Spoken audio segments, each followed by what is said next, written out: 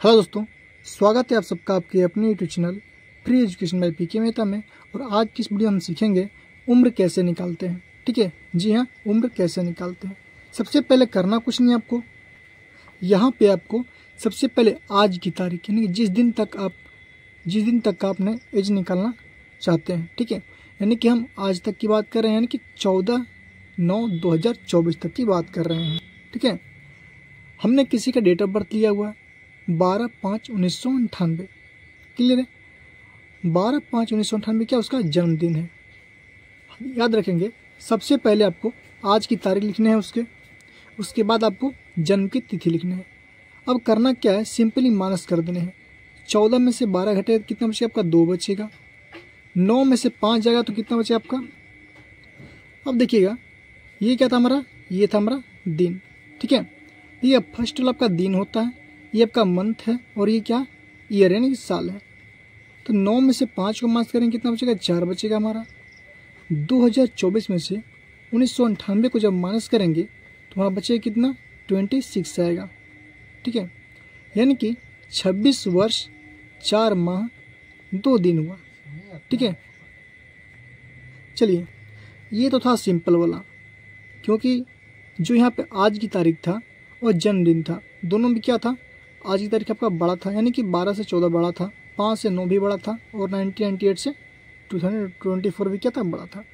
लेकिन मान लीजिए, किसी का जन्मदिन कुछ इस प्रकार है, चौदह, ज़ीरो नौ, फिर वही लीजिए हम लोग कितना, दो हज़ार चौबीस, ठीक है? और यहाँ पर रहेगा, मान लीजिए किसी का सत्रह, ज़ीरो नौ, और होगा कितना, नाइनटीन नाइन्टी एट, ऐसा भी तो हो सकता है। उस कंडीशन में क्या करेंगे? ध्यान देंगे आप लोग।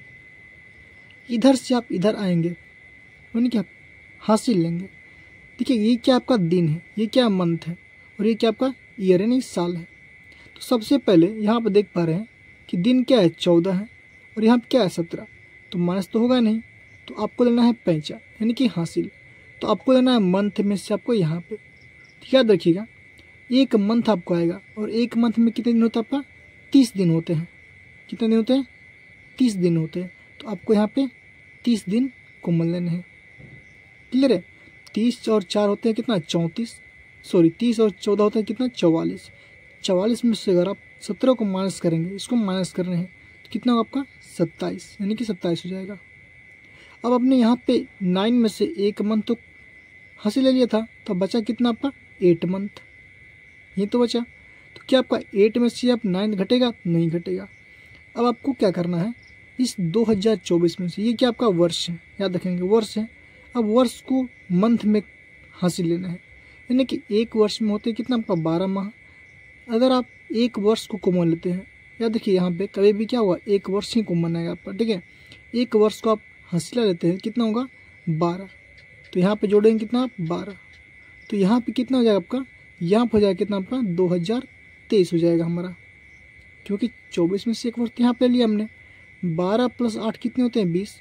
बीस में से अगर आप नौ को माइनस करेंगे तो वह कितना आपका? ग्यारह। क्लियर है? ये क्या हो गया? आपका मंथ हो गया। अब 2024 के बदले 2023 हो गया। अब 2023 में से उन्नीस को माइनस करेंगे कितना होगा आपका?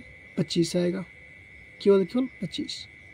यानी कि जो उसका आयु होगा, उम्र होगा, पच्चीस वर्ष, ग्यारह माह, दो हज़ार सॉरी सत्ताईस दिन हो जाएगा। ये आपका दिन है, याद रखेंगे। डे है आपका और ये क्या आपका मंथ है और ये आपका ईयर है। क्लियर है? तो कुछ इस प्रकार आप लोग अपना उम्र निकाल सकते हैं।